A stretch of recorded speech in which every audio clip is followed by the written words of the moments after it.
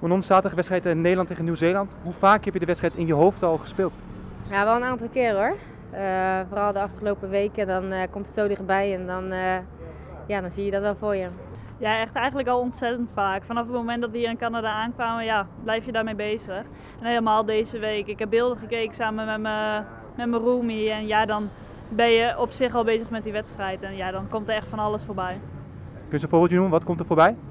Nou ja, de eerste kans die je krijgt, het eerste moment dat, ja, dat de scheidsrechter fluit. En dan begint natuurlijk het toernooi echt.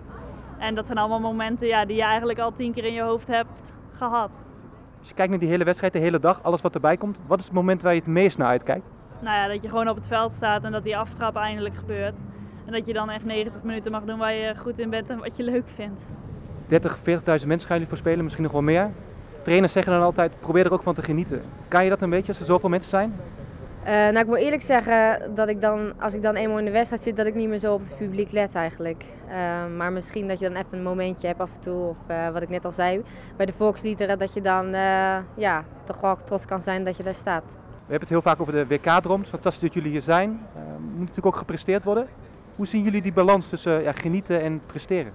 Nou, ik denk dat je vooral moet genieten op de momenten dat het kan. En dat is bijvoorbeeld na een wedstrijd, op de dagen dat je, wat, dat je vrij hebt of dat je aan het ja, herstellen bent van de wedstrijd daarvoor.